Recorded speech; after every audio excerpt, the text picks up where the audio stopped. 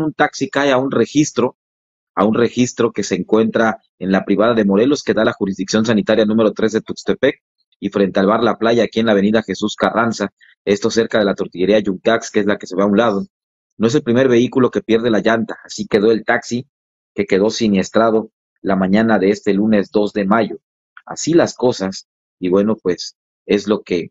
eh, sucedió esta mañana con esta unidad de taxi. Dos mil pesos me comentó el chofer que le salió esto. Imagínense, los choferes que no tienen seguro, que ganan dinero de manera, pues,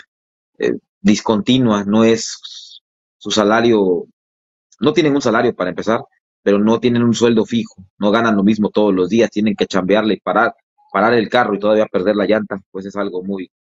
muy poco usual para ellos, que les afecta mucho.